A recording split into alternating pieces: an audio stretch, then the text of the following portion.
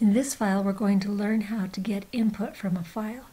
So far, whenever we've gotten input, we have got it by having the user type on the keyboard. But there are often times when we want to store data and be able to keep it in a file and then use it in a program later. So that's what we're going to learn about today. So to do that, first we have to have a file and that has data in it. So let's go ahead and create one. I'm going to go to File, New, Empty File. And it said, do you want this to be, this new file to be in the active project? And here, yes, this will just make it part of the project. And so we can go ahead and add that here. And it comes up to the folder where our .cpp file is. There's, that's the important part. It needs to be located in exactly the same folder as our .cpp file. We need to give it a name. I'm going to be storing scores in here, so I'm going to call it scores.txt. And you need to make sure that it's all files is your choice. There's lots of different types here, but the one we need for this is all files, and then we set the extension to .txt and save it. Here you can leave the defaults on this folder, on this window. And now we can just simply, I'm going to type in scores, so 91, 87, 79, 63, 94, and there I did five scores. So now I can go in my main, and if I want to read from this file, I need to add a new header file that we haven't used before, and this is fstream is the header file that has the code to be able to do file input and output. Then I need to define a variable. And the variable that I need to define is for input files, it needs to be of type ifstream. So this is the type of file and type of variable. And it's a file stream object, and I get to pick whatever name I want. So I'm going to call it fin. That just is a common thing to call it. It helps me think of cin. cin stands for console input, and fin can stand for file input. But you can name it anything you want. It's a variable, so you can name it whatever you want. And then you need to open it and connect it to the actual file that we made. To do that, you use the variable name you selected. So here, fin.open is the function that we're going to call. And then inside these parentheses, I'm going to put quotes, and inside there put exactly the name of the file that I created, scores.txt. All right, now I have created that file, and so, or created the file stream object that I can use to connect to that file. And now I can simply use fin with the, with the extraction operators just like I do with cin, but I need to store this in a variable. So I'm going to create a variable called score.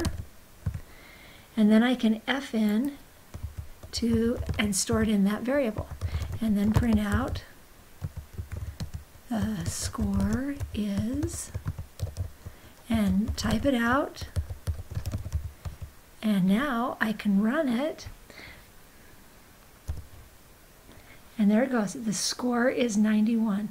Let's go see what it did. It went to this file, scores.txt. It begins at the very beginning of the file, and it read the first value, 91. Right, but there are five scores in there, so if I want to do this five times, I'm going to go ahead and put that in a for loop, and I can create a for loop that happens five times. i equals 0, i less than 5, i plus plus, and there I have a for loop that will happen five times. Oops, except I capitalized that. Okay, and then quotes. And then I'll simply move my code into there and put it inside that for loop and run it again. And it happened five times. Let's compare that with what was in the file. So there we go. It read the 91, the 87, the 79, the 63, and 94. And so that's how, if we know how many how many um, data values are in the file, we can read it exactly using a for loop. There are other times when we have a file like this that has lots of them in and we don't know how many, or that it may vary from time to time. So if we have a file like this, I'm just going to copy paste that in there then we can't use a for loop because we don't know how many. So we could use a while loop. And let's remember the details about a while loop. Remember that we need to start with a condition that is true uh, when we want to keep going and false when we want to stop. And what I'm going to use here for the condition is if in, it's actually an, the read statement.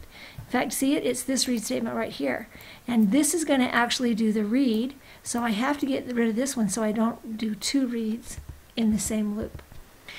So this read becomes my condition. It turns out that this read returns a true when it's able to read a value, and when it gets to the end of the file and there are no more values to read, this function will return a false. So that way it's true as long as there's a value to read, and as soon as it tries to read and there's none there, it turns to false, which is when we want to stop. So this becomes our condition.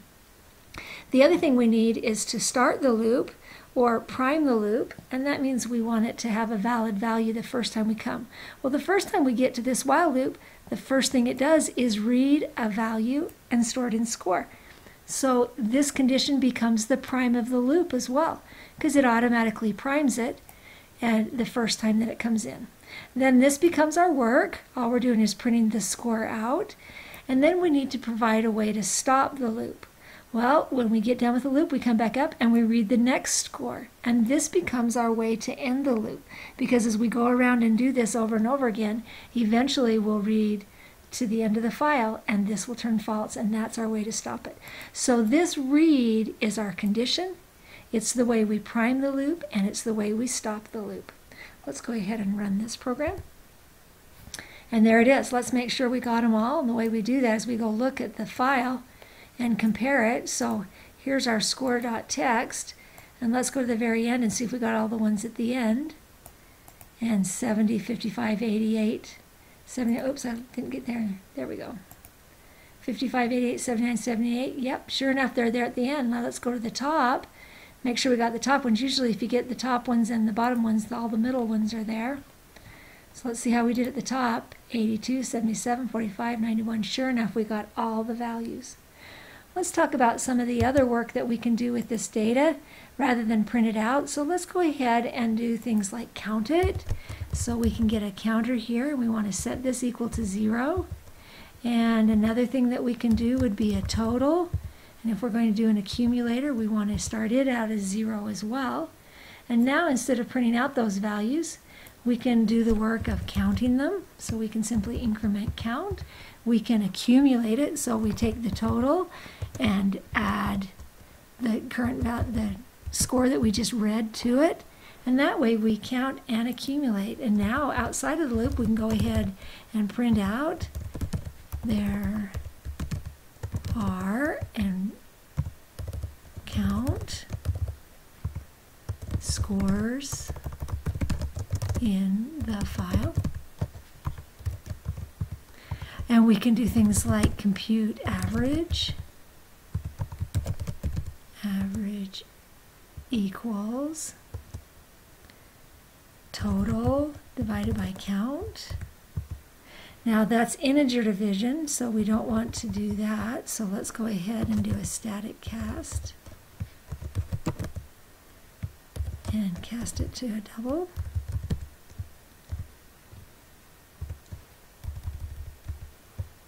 And then if we've computed that average, we can print it out. The average is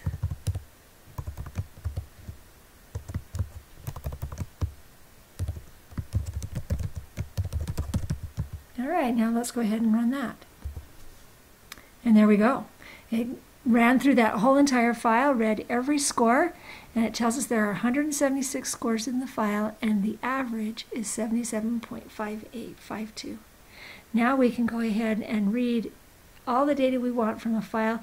It doesn't matter if this is really short like 5 or kind of long like 176 or thousands of scores long. That would made no difference. We'd made no change to the file, right? We made no change to the loop when we made that file so much bigger. So no matter what size it is, we can keep that loop the same and it will read the whole file.